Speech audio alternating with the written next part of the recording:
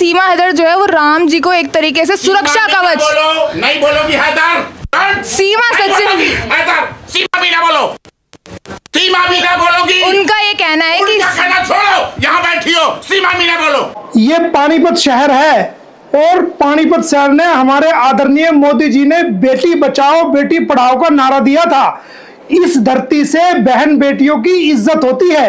और एपी सिंह की तरह बेटियों को धमकाया नहीं जाता। इस बेटी को एपी सिंह ने जो है वो फ्रंट मीडिया के सामने बदतमीजी से पेश आकर के धमकाया था। जबकि ये बेटी पत्रकार बेटी है, बहादुर बेटी है। अपनी बेटी को इक्यावन सौ रुपए से एक इसको एक आशीर्वाद के रूप में दे करके इसका हौसला अफजाई कर रहे हैं, ताकि ये देश में तरक्की करे और देश की सबसे बड़ी पत्रकार बने और बोल्ड पत्रकार बने और जीवन में आगे बढ़े। आज हम इसको अपना आशीर्वाद देते हैं। वाह मोमिन मलिक सर कमाल ही कर दिया आपने तो भाई बिल्कुल ही पोल पट्टी खोल के रख दी। और जिस दबंग अंदाज से आप बातें करते हैं वाकई में आप लगता है कि आप इंडियन हीरो हैं और इस देश के बेटे हैं।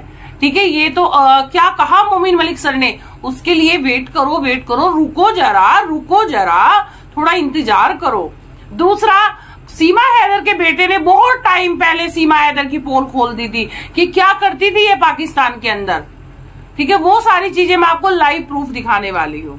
ठीक है, जो फरहान का स्टेटमेंट आया है सीमा हैदर के लिए तो कहा, उस स्टेटमेंट को देखकर आप अंदाज़ा लगाना कि कहाँ से अच्छी है ये माँ? क्या ये एक माँ है? क्या माए ऐसी होती हैं? अरे माँ तो अपना दिन रात अपना पूरा समय कुर्बान कर देती है अपने बच्चों के ऊपर। तुझे क्या पता कि माए क्या होती है है ना? तू तो ये तो खुदा की रहमत समझ, भगवान की रहमत समझ कि तुझे माँ बना दिया तू जैसी को तो माँ बनने का भी अधिकार नहीं है। आया ना समझ तो नमस्कार, आदाब, शिष्यकाल, मैं किराए में एंकर साक्षी। एक बार फिर आपके सामने हाजिर हूँ भगोड़ी हैदर के झूठों का पर्दा फास करने के लिए और झूठों का पोस्टमार्टम करने के लिए। तो मोमिन, सबसे पहले तो बता दूँ कि मोमिन मलिक सर ने कहा, क्या कहा? मोमिन मलिक सर का कहना है, बकुल मोमिन मलिक जी के। उन्होंने कहा है कि केस लेने से पहले उन्होंने गुलाम हैदर का सऊदी में वेरिफिकेशन करवाया था कि ये किस तरह का बंदा है। दूसरा, उन्होंने पता करवाया था पाकिस्तान के अंदर भी किस तरह का बंदा है, क्योंकि मोमिन मलिक सर के क्लाइंट हर जगह है, उनके जानने वाले हैं। तो उन्होंने पता करवाया। तो उसने कहा, वहाँ जाके पता चला जब उन्होंने तफ्तीश करवाई कि गुलाम हैदर एक बेहद ही ईमानदार, सच्चा और मेहनती इंसान है। ठीक है? उन्हें लगा कि कहीं वो गलत आदमी का केस तो नहीं ले रहे। फिर उन्होंने सोचा कि नहीं, मुझे इसका केस एडमिट ज़रूर करना पड़ेगा, क्योंकि ज़रूरत है इसे एक, क्योंकि मोमिन मलिक साहब तो सच्चे वकील हैं भाई। तो उन्हें तो सच्चे लोगों का केस लेने में ज़्यादा मज़ा आता है।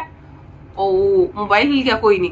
तो मोमिन मलिक सर ने ये ये सारी बातें एक वीडियो के द्वारा बताई है ठीक है? और मोमिन मलिक सर की बकौल मैं आपको बता रही हूँ। दूसरा जो सीमा हैदर का बेटा है भाई सीमा हैदर के बेटे ने खुद स्टेटमेंट दिया था कि मेरी माँ ना तो पाकिस्तान में टाइम देती थी पूरे दिन फ़ोन फ़ोन पे लगी रहती थी और ना मेरी माँ यहाँ टाइम देती थी। तो आप लोगों को यकीन नहीं आ रहा? तो प्लीज़ सुनिए पहले। मम्मी तो वक्त ही नहीं देती ना वहाँ पे देती थी। अच्छा। बस पूरा दिन बात में ही रहती थी। वहाँ किससे बात करती थी? पापा से सिर्फ़। सचिन से? अच्छा। सुन लिया बच्चे भगवान का रूप होते हैं। हमने तो नहीं सिखाया ये। हमने तो नहीं सिखाया। तू कहती है ना बच्चों से झूठ बुलवाते हैं। बोल दिया बच्चे ने कि ना यहाँ पे समय देती है ना वहाँ समय देती थी। इसको कहते हैं अच्छी माँ। बताए मुझे भारत सरकार। लिया। ये मैंने तो मैंने तो नहीं लिया ये इंटरव्यू लेकिन फिर भी इंटरव्यू वायरल हुआ था, उस टाइम भी हुआ था और आज भी वायरल हो रहा है। ठीक है? तो क्या माए ऐसी होती है? अरे माँ तो अपना पूरा तन, मन, धन, अपना बच्चे के लिए अपना पूरा समय समर्पित कर देती है। अरे माओ ने तो बड़ी बड़ी नौकरियाँ छोड़ दी अपने बच्चों की परवरिश करने के लिए। अपने करियर तक दाव पे लगा दिए बच्चों की परवरिश करने के लिए। और तू बच्चों को थोड़ा सा वक्त भी नहीं देती थी। हाँ गुलाम हैदर वहाँ कमाता था गुलाम हैदर वहाँ तेरी अयासियों के लिए पैसा बटोरता था बेचारा। और तु, मतलब तू यहाँ अपनी अयासियों में उसे उड़ाती थी और बच्चों को टाइम भी नहीं देती थी तू। तू पूरा दिन रील बनाने में पूरा दिन टिकटॉक बनाने में निकालती थी। अरे शर्म आनी चाहिए तू जैसी महिला को शर्म आनी चाहिए। ठीक है ना? क्योंकि ऐसी महिलाएँ कभी समाज में कोई अच्छा मुकाम हासिल नहीं कर पाती और ऐसी माओ को अधिकार भी नहीं है कि वो एक माँ भी बने। ठीक है? पता नहीं कौन से रब की तुझ पर मेहरबानी हो गई कि जो तू माँ बन गई। वो गुलाम हैदर के नसीब थे जो वो एक पिता बना। पिता बनना भी एक सौभाग्य की बात होती है। आया समझ में?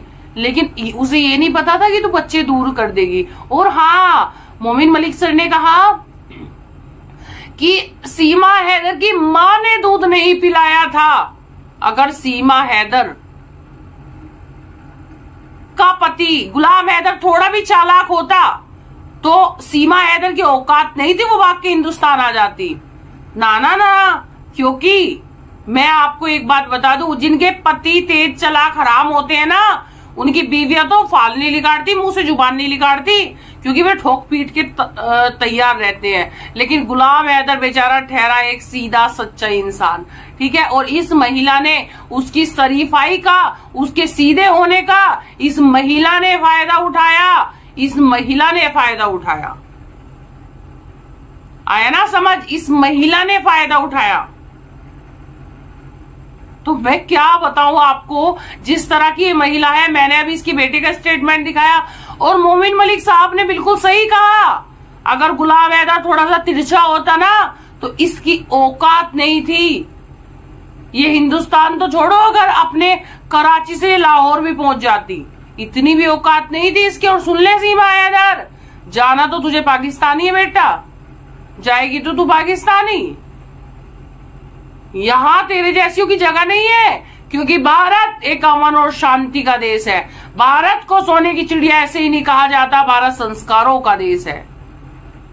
आया समझ? लेकिन तुझे जाना होगा पाकिस्तान। आया? और देख, तेरा तेरा ही बेटा बोल रहा है ना? ठीक है, ये तेरा बेटा ही बोल रहा है। आया समझ? और देखो, गुलाम हैदर ने सारी वीडियोस फ़ोटो सब अपने बच्चों के दिखा दिए। ये तो कहती थी कि एक फ़ोटो कोई दिखा दे। इसने बेचारे ने, बेचारे गुलाम हैदर ने सारे ही फ़ोटोज़ दिखा दिए। ठीक है तो कितना झूठ पकड़े? तेरी बहन आती है लाइव पे तो तू कह देती है, मेरी बहन ही नहीं है। कमाल है यार, हद है यार तुझसे तो सच्ची। तो भाई, कैसी लगी आपको वीडियो? आपको ये दिखाना था, एक प्रूफ तो वीडियो को लाइक, शेयर एंड सब्सक्राइब। अपना प्यार बनाए रखें, ज़्यादा से ज़्यादा हमारा सपोर्ट करें, समर्थन करें।